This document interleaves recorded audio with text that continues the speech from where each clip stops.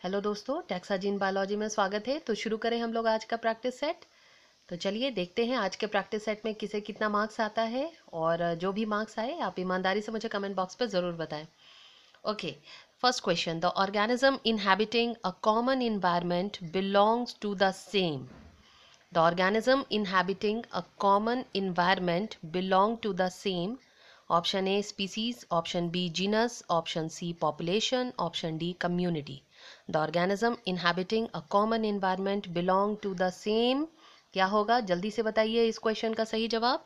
तो इस क्वेश्चन का जो सही आंसर है, वो है option number D that is community तो कम्युनिटी आप देखते हो कि are the group of the organism which share common habitat याद रखिए तो the organism inhabiting a common environment belong to the same community, है ना? Same species same genus same population, ये नहीं होगा।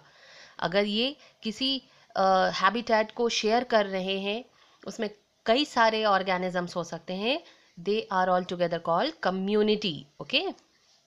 Now, next, question number two. The fastest acting enzyme in the biological kingdom is? सबसे fastest acting enzyme आपको बताना है biological kingdom का।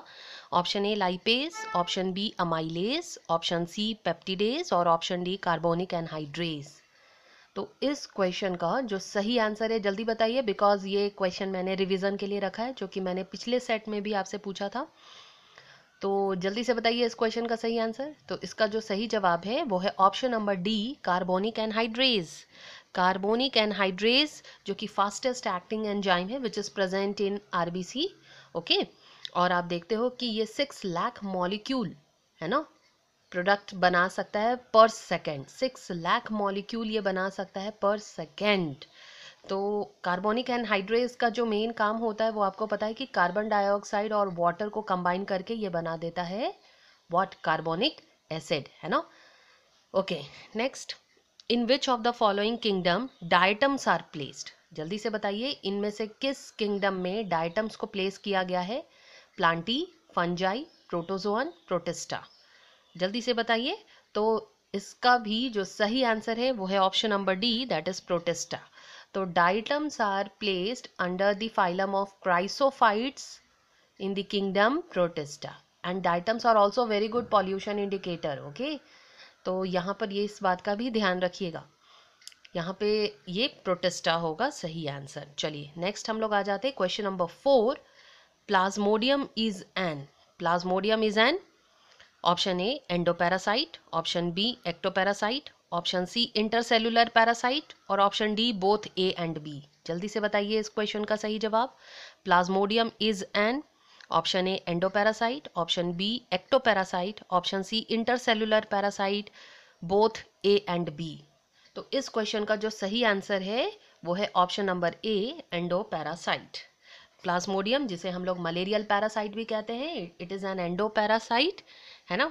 और आप देखते हो कि it complete its life cycle in two host female Anopheles जो कि प्राइमरी होस्ट होता है and the human which is a secondary host तो आप जान रहे हो कि प्लाज्मोडियम जो है वो ह्यूमन uh, तक कौन पहुंचाता है? फीमेल एनोफिलीज तो female Anopheles is also acts as a vector और आप देखोगे कि ये एंडो पैरासाइट होता है प्लाज्मोडियम चलिए next question number five which of the following animal is sanguivorous जल्दी से बताइए कि इनमें से कौन सा एनिमल जो है वो सैंग्वीवोरस है? नेरीज टेपवॉर्म अर्थवॉर्म हिरुडिनेरिया देखिए सैंग्वीवोरस ही आ, समझना है आपको। ये अगर आपको पता है तो आप आसानी से इसमें से बता सकते हैं कि कौन सा आंसर होगा।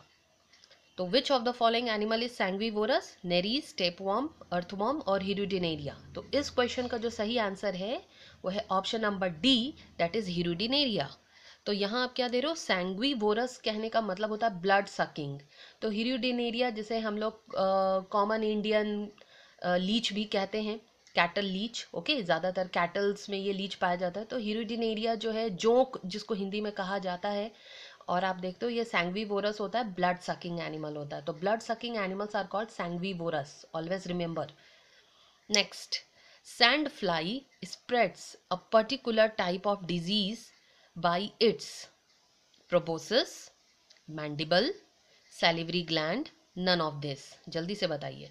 Sand fly spreads a particular type of disease by its which part बताइए कौन से पार्ट से सैंड फ्लाई जो है? एक पर्टिकुलर डिज़ीज़ को स्प्रेड करती है। Proboscis mandible salivary gland none of this तो इस क्वेश्चन का जो सही आंसर है, वो है option number A that is proboscis proboscis सबसे पहले तो जान रहे हैं आप कि सैंड फ्लाई जो है okay that is responsible for causing many diseases कई सारे डिजीजेस कॉज करने के लिए रिस्पॉन्सिबल है। ओके?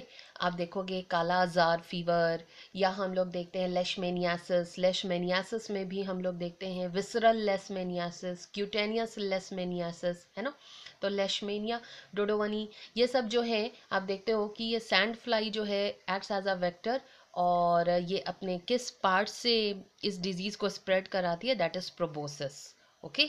तो sand fly spreads a particular type of disease by its proboscis याद रखेंगे आप लोग।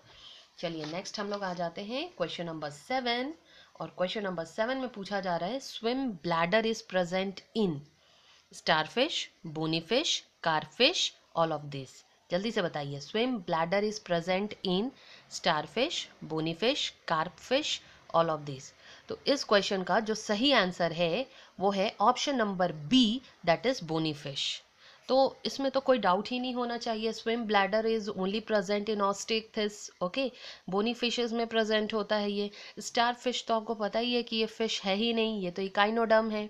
कार्प फिशेस जो होती हैं, वो बॉटम फीडर्स होती हैं। ज़्यादातर नीचे रहना पसंद करती है बॉटम में पसंद करती है रहना ओके और आप देखते हो कि स्विम ब्लैडर जो है that is the characteristic feature of all bony fishes okay next the character of bird without exception is आपको बताना है बर्ड का वो कैरेक्टर जिसमें कोई एक्सेप्शन नहीं है।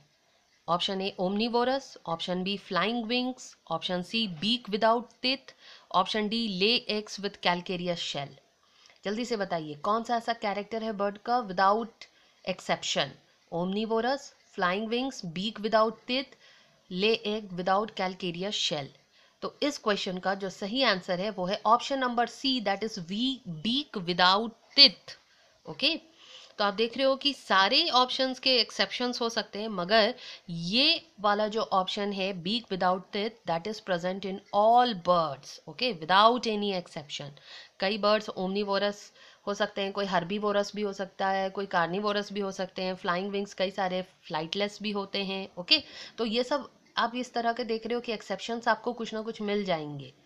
लेकिन beak without teeth that is without exception okay question number nine हम लोग देखते हैं blood platelets are found only in the blood of ये बहुत ही इंपॉर्टेंट है आप देख रहे हो कि बहुत टफ नहीं है ये क्वेश्चन लेकिन ये कभी कभी आ, सही नॉलेज देने के लिए भी इस तरह के क्वेश्चंस बना दिए जाते हैं। तो blood platelets are found only in the blood of birds, reptiles, mammals और एम्फीबियंस। बताइए इसमें से सही जवाब क्या होगा? नो no डाउट, इसका जवाब है option number C, mammals. Blood platelets are only found in the blood of mammals. याद रखें इस बात को। और ब्लड प्लेटिलेट्स का जो मेन काम होता है वो क्या है? ब्लड कोएगुलेशन, है ना? It helps in blood coagulation तो ये याद रखिएगा, केवल मैमल्स के ब्लड में पाए जाते हैं। Next which of the following has the least number of chromosome अब ये आप बताइए कि इनमें से कौन से ऑर्गेनिज्म हैं जिनके पास लीस्ट नंबर ऑफ़ क्रोमोजोम होता है? House fly fruit fly butterfly rice जल्दी से बताइए। House fly fruit fly butterfly या फिर राइस तो आप देखेंगे कि इस क्वेश्चन का जो सही आंसर है, वो है option number B that is fruit fly okay house fly का आप देखते हो कि कितना होता है क्रोमोसोम तो आप देखेंगे twelve fruit fly eight butterfly three eighty और राइस का कितना होता है? Twenty four. तो हाउस फ्लाई का आप याद रखें, twelve, fruit fly, eight, butterfly, three eighty and rice, twenty four. तो यहाँ पर आप देख रहे हो बच्चों, ये प्रैक्टिस सेट फिनिश हो रहा है और जिन भी बच्चों को जितने भी मार्क्स आते हैं, आप प्लीज़ कमेंट बॉक्स में मुझे ज़रूर बताएँ।